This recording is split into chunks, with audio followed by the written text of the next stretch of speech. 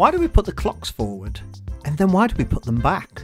It's all to do with the hours of daylight. In the UK, during the summer, there are more hours of daylight. The days are lighter for longer. In the winter, there are less hours of daylight. The days become darker earlier in the evenings. When British summertime begins, everyone moves the time on their clocks forward one hour. This is called putting the clocks forward. And when the British summertime ends and the autumn begins, everyone moves the time on their clocks back by an hour. This is called putting the clocks back. But how did this start? In 1914, a man called William Willett decided that people should make the most of the longer hours of daylight in the summer. He also pointed out that less coal and candles would be used because people would have lighter evenings.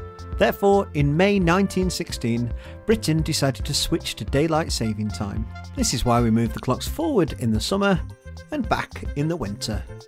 An easy way to remember if the clocks are going forward or if they're going back is to remember that we spring forward, we move the clocks forward by an hour, and we fall back. We move the clocks back one hour. Spring forward in the spring, fall back in the fall.